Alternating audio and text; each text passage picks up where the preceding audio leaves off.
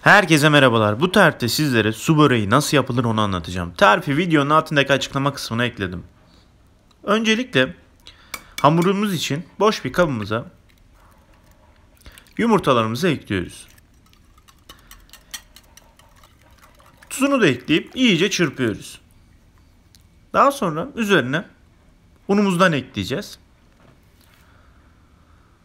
Unumuzu da ekledikten sonra iyice karıştırıp kıvama gelmesini bekliyoruz hamurun. Hamur kıvama geldikten sonra bir streç filmle her tarafını iyice kapatıp 15-20 dakika kadar en az buzdolabında bekletiyoruz. Dinlendirdiğimiz hamurumuzu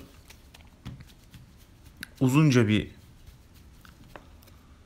şekil yapıp 10 eşit parçaya bu şekilde ayırıyoruz. Çünkü 5 e, aşağıya 5 yukarı olacak şekilde hamurlarımızı arasına peynir gelecek tabi. Hamurlarımıza bu şekilde şekil veriyoruz. Çok ince olmasına dikkat etmeniz gerekecek. Hamuru açarken yanlara doğru ve ileri doğru benim gibi açarsanız istediğiniz inceliğe ulaştırabilirsiniz hamurunuzu. Bu şekilde 10 tane yapıp kenara alıyorum. Diğer yandan tereyağımı kaynatmayacak şekilde eritiyorum. Çok kısık ateşte olacak şekilde. Şimdi böreğimi yapacağım tepsinin en alt tabanına boldan boldan tereyağı ekleyip 3 kaşık kadar bu şekilde her tarafına yayıyorum. Yan taraflara da ekle şey yapmanız, sürmeniz gerekecek ve en alt tabakaya haşlamadığım bir tane hamurumdan ekliyorum. Üzerine de tekrardan tereyağı ekleyip her tarafını yedirmeye çalışıyorum. Bu şekilde. Şimdi hem sıcak suyum ve soğuk suyum olacak. Çünkü önce hamuru e, kaynamış suyun içerisine atacağım. 30 saniye bekleyeceğim. Daha sonra soğuk suyun içerisine alıp e, ekleyip haş, e, şoklayacağım. Şimdi kaynamış suyumu ekliyorum. Bunu fokur fokur kaynatmam gerekecek ocakta. Ocağın altı sürekli açık kalacak. Ve tuzunu da eklemeyi unutmayın sakın. Hem bu şekilde hamurun yırtılmasını engelleyecek. Ve bu şekilde hamurumu atıp 30 saniye kadar bekleyip suyunu az biraz süzüp soğuk suyun, suyun içerisine şoklamaya alıyorum. Soğuk suyu da ara ara hani e, sürekli hamur atacağım için Ara ara soğuk su ilavesi yapmanız gerekecek. Evet hamurum şoklandı. 30 saniye 40 saniye kadar bekledim. Suyundan az biraz bu şekilde süzüyorum ve bir süzgecin üzerine alıp o üzerinde kalan fazla suyu da atmasını bekliyorum. Bir dakikada orada bekleteceğim ve bekledikten sonra tepsimi tepsimi alıyorum ve her kata bu şekilde tereyağı eklemeni sürmeniz gerekecek. Şimdi ikinci katıma atıyorum. Tekrar kaynamış su olacak. Kaynamış suyun içine atıyorum. Şokluyorum ve tekrardan tepsimin üzerine atıyorum. Ve aynı işlemi tekrarlıyorum. Tereyağını üzerine yediriyorum. Yine boldan boldan eklemeniz gerekecek. Ve diğer kata geçiyorum. Diğer kata da aynı şekilde önce sıcak su, sonra şoklamak için soğuk su. Suyunu süzüyorum. Yırtılmasından korkmayın. Yırtılsa bile e, su böreği katman katman olduğu için hani yırtık bir şekilde de koyabilirsiniz. Bu şekilde yine e, su fazla suyunu süzüp tepsimin içerisine atıyorum. Ufak tefek yırtılmaları göz ardı edebilirsiniz dediğim gibi.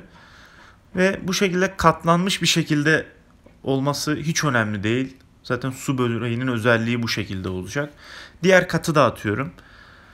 Ve tereyağı alıyorum ve şimdi 5 katımı yaptım. Orta kata peynir atacağım. Dil peyniri örgü peyniri ve çeçil peyniri kullandım. Siz farklı peynirler de kullanabilirsiniz.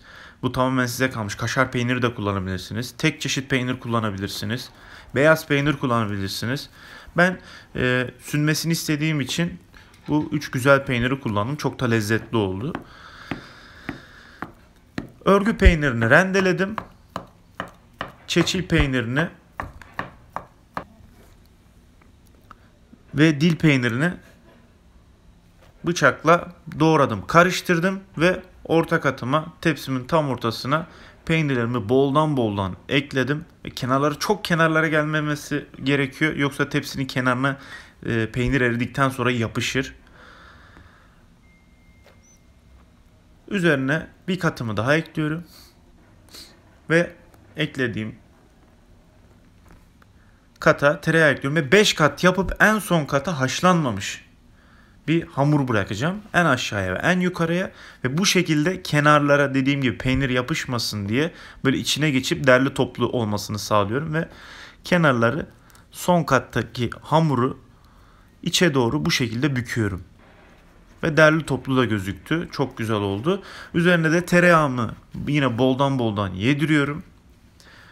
Ve bu şekilde pişmeye hazır artık. Ve 180 derecelik fırınımda 50-60 dakika pişiriyoruz.